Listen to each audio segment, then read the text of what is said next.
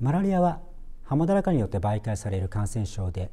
年間2億人以上の新規患者と40万人以上の死亡者を出す世界最大感染症の一つです。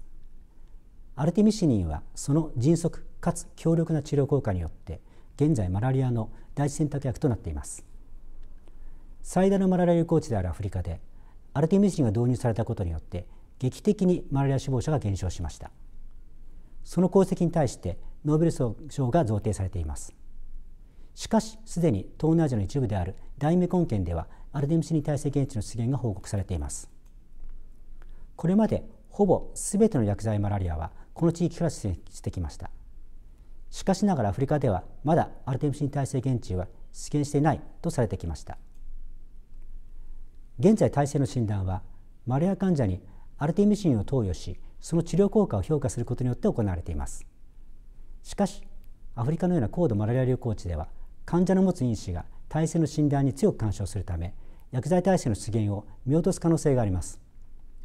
この欠点を補う方法として患者から得られたマラリア原虫のリングステージの間だけ高濃度のアルテミシンとともに強培養その後培養液中の原虫抗原量を測定することによってアルテミシン耐性を評価するリングステージサバイバルアッセイという方法があります。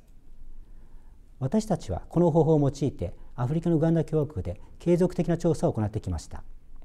その結果194人のマラリア患者において2%にあたる4人の患者がアルテミシン耐性原虫に感染することを発見しました。うち1例は東南アジアに分布している耐性原虫より高い耐性レベルを示していました。さらに耐性原虫の全遺伝子配列を決定。さまざまな地域に分布するマラリア原虫とともにベーズ法を用いた統計解析を行った結果今回発見した耐性原虫はアフリカで独自に出現進化していることを突き止めました。本研究の社会的意義と今後の展開です。現在のグローバルなマラリア対策はアフリカにはまだアルテミシン耐性マラリアが出現しないという前提で進められています。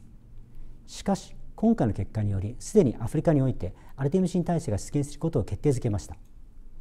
これはアフリカにおける体制の広がりについてより詳細に把握する必要があることを意味しています。私たちの研究グループはすでにアルテミシン耐性患者からの耐性マラリア原虫株の自立に着手しています。これを通じて耐性責任遺伝子の同定さらには耐性メカニズムの解明を目指しています。